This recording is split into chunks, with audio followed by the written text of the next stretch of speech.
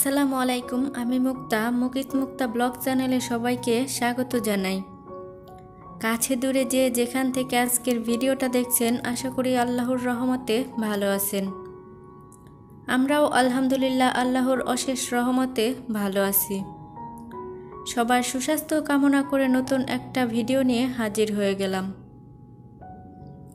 আর ভিডিওটা শুরু করেছি সকাল থেকে। আর সকাল থেকে ভিডিওটা শুরু না করলে আমার কাছে মনে হয় যেন ভিডিও শ্যুট করার কিছু অংশ বাদ পড়ে যায়।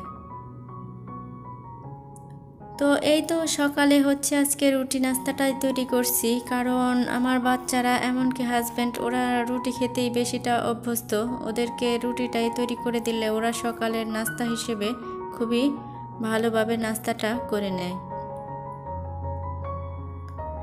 আর আমি চেষ্টা করি সকালবেলা হালকাভাবে খাবারটা খাওয়ার, তো সেই জন্য ভারী কোনো খাবার দেই না ওদের, তো ওরাও পছন্দ করে না, তো রুটিটাই একটু তৈরি করে নিচ্ছি। আর রুটির সাথে থাকছে একটা ভাজি আর হচ্ছে ডিম ভাজি, তো ওগুলো অলরেডি করে নেওয়া হয়ে গিয়েছে, তো রুটিটাই শুধু তৈরি করা বাদ রয়ে গিয়েছে। কারণ ওরা ঘুম থেকে উঠবে আর রুটিগুলো গরম গরম তৈরি করে ফুলকো ফুলকো করে সেকে দেব, তো গরম গরমই খেয়ে নেবে। আর গরম গরম রুটি খেতে কিন্তু খুবই ভালো লাগে, তো সেই জন্য একটু পরে পরেই বানিয়ে নিচ্ছি, কারণ অন্যগুলো তৈরি করা হয়ে গিয়েছে, শুধু রুটিটাই ছেঁকে নিলেই হয়ে যাবে। আর রুটির সাথে একটু চাও তৈরি করব। তো পাশের চুলাতে যেহেতু ভাজিগুলো কমপ্লিট হয়ে গিয়েছে, পানিটাও অলরেডি বসিয়ে দিয়েছি। আর এই তো রুটি তৈরি করার পরে যে জিনিসপত্রগুলো ছিল, তো সেগুলোকে গুছিয়েও নিচ্ছি। সাথে কাজ সাথে করতে আমি পছন্দ করি, তো এই তো কাজগুলো এভাবেই গুছিয়ে করি।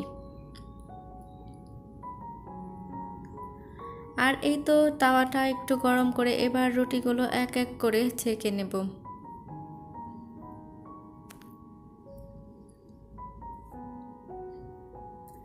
কারণ সকালে ঘুম থেকে উঠে নাস্তাটা আগে তৈরি করে নিচ্ছি আজকে, তো অন্যান্য কাজগুলো একটু পরে করে নেব। আর আমার হাজব্যান্ডও অফিসে চলে যাবে, তো ভাবলাম এই কাজটা আগে আজকে করে তারপরে এক এক করে বাকি কাজগুলো করে নেব। আর ভোরবেলা উঠে যে নাস্তাটাই প্রথমে তৈরি করব, তো এটা কিন্তু আমার ডেইলি রুটিনের একটা অংশ। আর এভাবে কিন্তু আমি রেগুলার কাজগুলো করি না, যখন যেইভাবে পারি ঠিক তখনই সেভাবেই কাজগুলো করে নেই।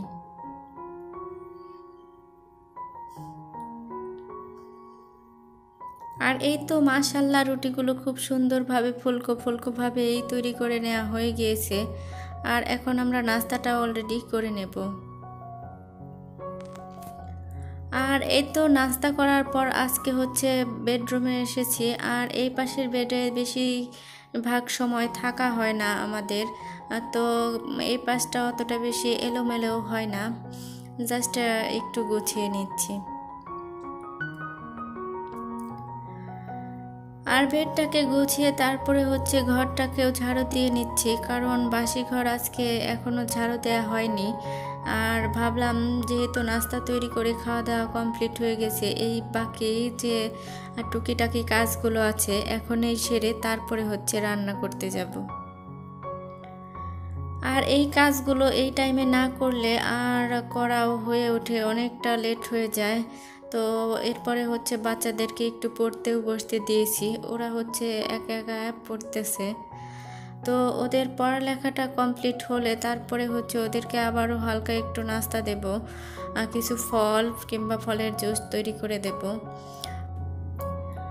আর এখানে হচ্ছে আমি যে বাসাগুলোতে থাকি, আর এই বাসাগুলো হচ্ছে টাইলস করা না, দেখে অবশ্যই বুঝতে পারছেন, আর অনেক পুরাতন একটা বাসা।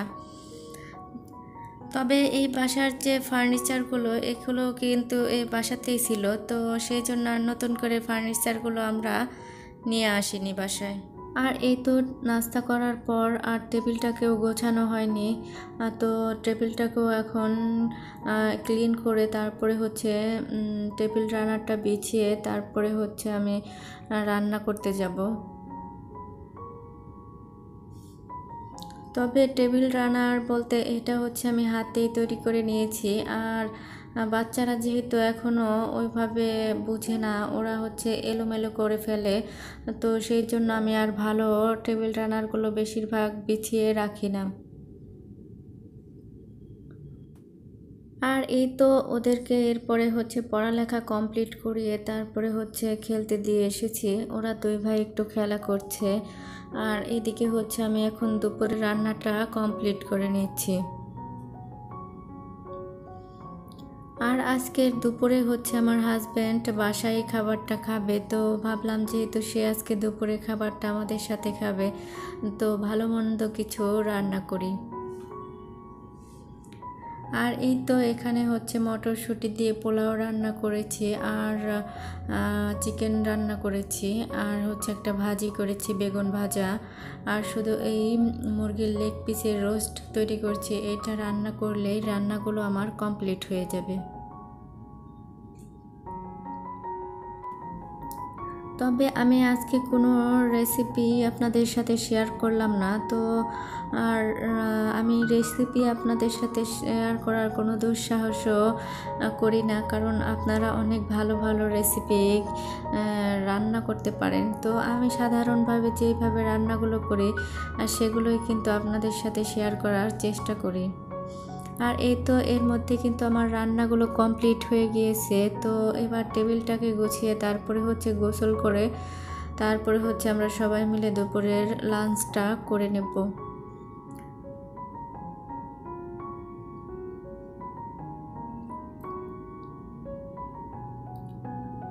আর এই তো লেগ পিসের রোস্ট রান্নাটাও হয়ে গিয়েছে। এবার এটাকেও বেড়ে তারপরে হচ্ছে কিছুটা পেঁয়াজ বেরেস্তা দিয়ে আমি পরিবেশন করে নিয়েছি।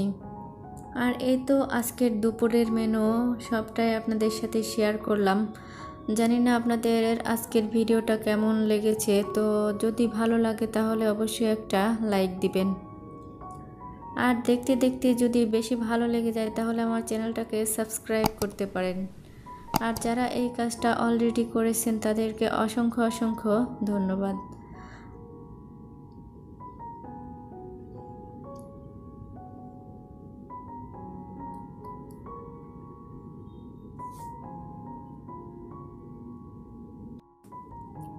আর এই তো এখন হচ্ছে আমরা সবাই দুপুরের খাওয়া দাওয়াটা কমপ্লিট করে নিচ্ছি।